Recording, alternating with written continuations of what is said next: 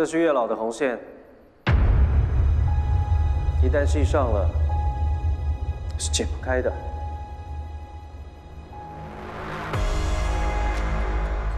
代表我们要在一起了吗？不，我一点都不喜欢你。但只要系上这个红线，我就可以掌握你的动态，否则敌暗我明，太不公平了。以后就算你企图逆踪，循着红线，我就可以找到你，阻止你伤害天晴。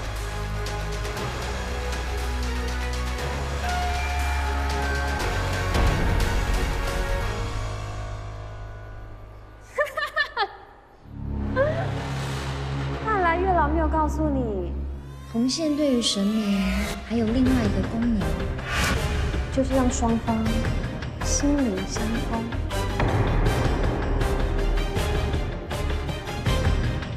谢谢你帮我开启了这扇大门，从今以后，我们心有灵犀，你就是我，我就是你，再也不会分开了。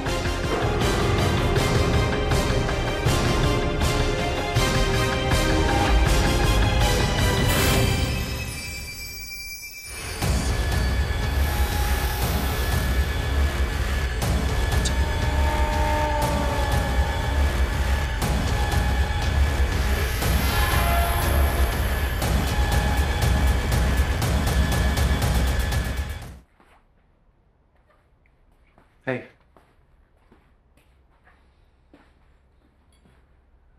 难道你会主动找我，遇到任何事情，尽管跟我说。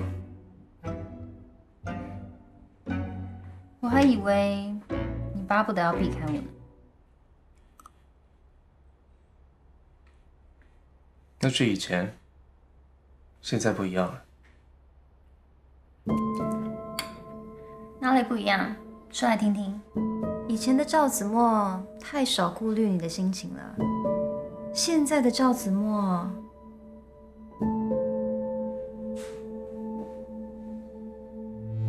会怎样？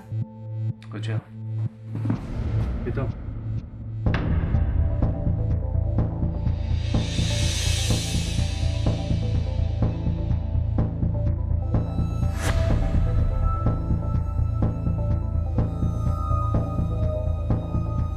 干嘛这么惊讶？你不是也对我做过一样的事情吗？那么久的事，你还记得啊？我只记值得记的事。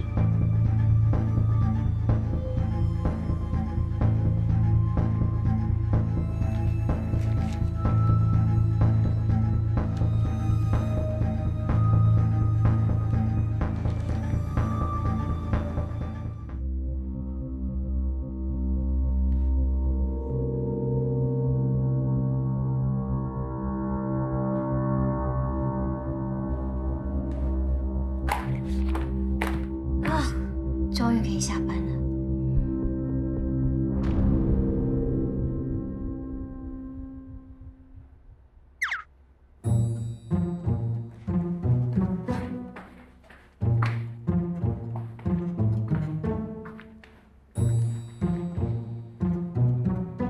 你在看什么？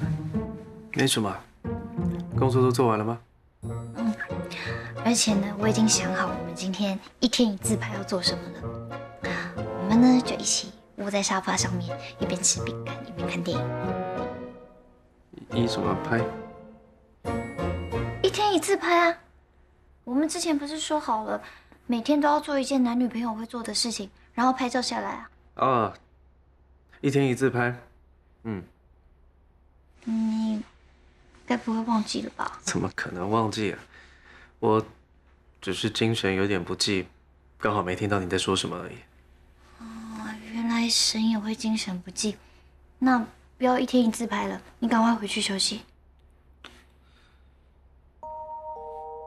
真贴心啊！